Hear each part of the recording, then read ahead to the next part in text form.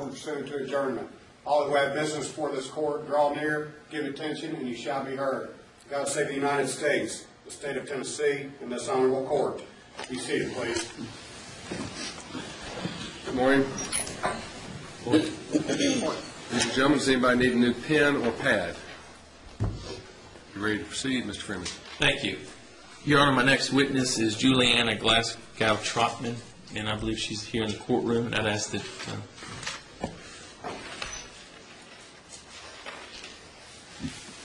morning, ma'am. How are you? Watch your step, please, here, and remain standing while I swear you in. Raise your right hand, place your left hand on the Bible. Do you solemnly swear or affirm that the testimony you're about to give in the cause pending is the truth, the whole truth, and nothing but the truth, so help you God? I do. Thank you, ma'am. Be seated, please. Ms. Trotman, uh, I'm going to ask, be asking you some questions this morning, and what I'd like, what I'd ask you to do is to uh, address your answers to the ladies and gentlemen of the jury, if you will. I'm going to be back here behind the podium, and I'll try to speak up, and ask that you do the same because of the acoustics here in the room. Uh, Can you introduce yourself to the ladies and gentlemen of the jury? Good morning. I'm Juliana Glasgow Trotman. I'm a corrective massage therapist.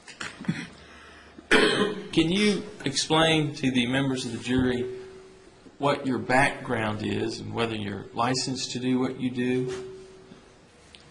Yes, I've been licensed to do massage therapy um, since 1989, and I have been doing this for a living since then. Can you describe what activities you have with the licensing board here in Tennessee? I'm a member on the massage licensing board here in Tennessee at the moment. Please describe what type of therapy you provide to individuals. Uh, the type of therapy that I do is mainly to correct problems. Um, I don't do the regular Swedish massage. I do deep tissue work, neuromuscular work, and myofascial release, which helps to relieve the muscular musculature from tension and constriction to allow joints, vertebrae, and other forms of bones, which is governed by the muscle, to be free and to be able to move better, and this relieves pain. Have you had an occasion to treat Mr. Crawford? Yes, I've treated, I've been treating Mr. Crawford since last July.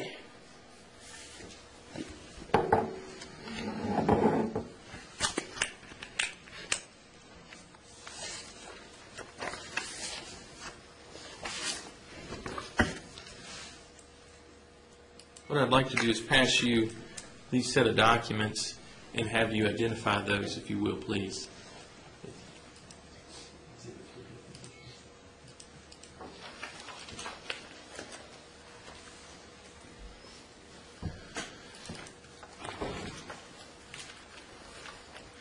You- you- Yes, these um, notes that I've kept from working on Mr. Crawford about what specifically I had done and what areas, and the bills are also attached. Your Honor, I'd like to go ahead and mark that as an exhibit, please. Any objection? No, Your Honor. All right. These will be marked as the next numbered exhibit, which will be number four. Your Honor, when you have an opportunity, I will probably need to use the uh, overhead. Ms. Trotman, can you describe the types of uh, clients or patients that you see on a regular basis? Um, I see everybody from all walks of life with all types of problems. Mainly people who are in some form of trauma, who have been sent to me from a chiropractic office or a doctor's office because they have spe- special needs and not just the regular person who wants an everyday massage. If they show up, I do do it. This is what I'm trained to do. But most people have come, and it's all by word of mouth. I do not advertise to me from all walks of life, like I said, lawyers, doctors, um, gardeners, builders, because they have some sort of problem that they want help with. Now, can you talk about the actual treatment that you that you do? And and that, I'm trying to be as specific as I can, Uh, so that the, so that the jury understands the, the how much time you spend with the patient, whether it's uh, um, I spend anywhere from an hour to two hours on most treatments. When somebody comes in and they have pain, they have a chronic situation, something that has been going on for a while, the mus- musculature of the body is really tight, it's compressed. The fascia, which is the outer circuit, like if you if you look at a piece of roast beef, you see that white part that's on the outside, and then you see inside the same little things. That's the fascia, and it's three dimensional. And when that tightens, it pulls the flesh in also. This creates problems on nerves and may pull vertebrae together to squeeze discs, cause bulging discs, cause discs to rupture. Most people just know that they have a pain. They have no idea how it's, why it's happening the way, why they're feeling that pain. What I do in actual therapy is to work with the musculature to see what is happening with it and which form of therapy would be better for that person. Um, you can come in twice a week, and on one day I can do myofascial release, which is just releasing the fascia because that's where I'm feeling the constriction. Uh, the next day I would probably do neuromuscular or just deep tissue work. It's not pleasant, it's always painful, and most of the time people are in pain. I have had people who didn't have pain but had some discomfort, and, but by the time I get done with them, they were in pain.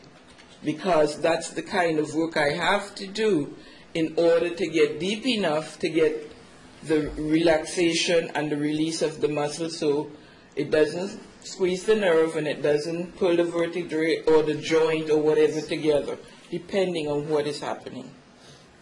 this the the treatment that you provide to your clients or patients uh, is is that a what you would describe as a pleasurable experience for most? No, sir. Not at all. And I tell people when they call, I ask how they got my name, who referred them. I ask if they had a specific problem. And I explain to them that I do a special type of work, and this is not a pleasure massage. Everybody has got a tight muscle somewhere in their body. They may say, I don't have anything wrong with me. But when they get on the table, that is actually not the case. And I let them know that it's not going to be a pleasurable massage. Please call someone else if that's what you're looking for. Now, there may be, uh, the, the public sometimes when you talk about massages get a certain impression. All right. You have, do you know what I'm talking about? Yes, I, um, matter of fact, I stayed out of massage profession and worked in banking for 20 years because being the daughter of a minister, I did not want to be associated with something that had a sexual connotation. But as I got older and I knew what I wanted to do, and I knew what my mission was, and I knew who I was and what I was going to do, I decided to do it. If people want to think that that's their problem, that's not mine. And when they come on my table, they're going to get a professional treatment. And if they get on my table with the wrong thing in their mind, they'll be sorry. Now, I want to draw your attention to Mr. Crawford's treatment. Uh, Can you describe your first impression of Mr. Crawford when he came to see you? Um, that day I was sitting at the desk and through the bay window, one of my training, because I had several forms of training in body work. I just, what I'm doing is my forte, but I have other training. And one of them is to look at the person to see how they're standing, walking, you know, what their posture is like. And the first thing I saw when Mr. Crawford was walking in was that he had to have some discomfort because he was walking with his like this. You know, when you're trying to get some ease down here, so you don't want to go this way because it pulls it. And so he was walking like that, and I thought, you know, and he came in and um, filled out his form and everything, and then I says, well, okay, I'll have to actually work with the musculature to see exactly what is wrong, even though I had an idea there was a back issue before he even walked in the building. Please describe what you found when you began the therapy. Um, Mr. Crawford had three areas that were particularly um, chronic restrictions. The first was right here in the cervical area. The second was in the thora- thoracic area, just below the shoulder blade area and down. And the last one was in the lower back in the lumbar area. And at that time,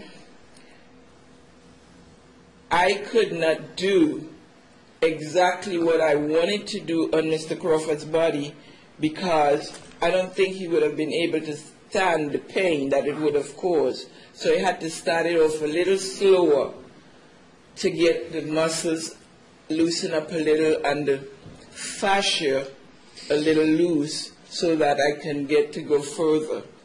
Um, Mr. Crawford came in at that time twice a week, which was very effective for him because I could get back to the musculature quickly before it regained its old position.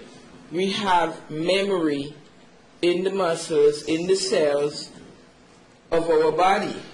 And if you're for years doing this, and this becomes constricted, and I loosen it up, after a while it would tend to do that again just from being that way for a long time, from memory in the musculature. So you've got to do it often enough to open.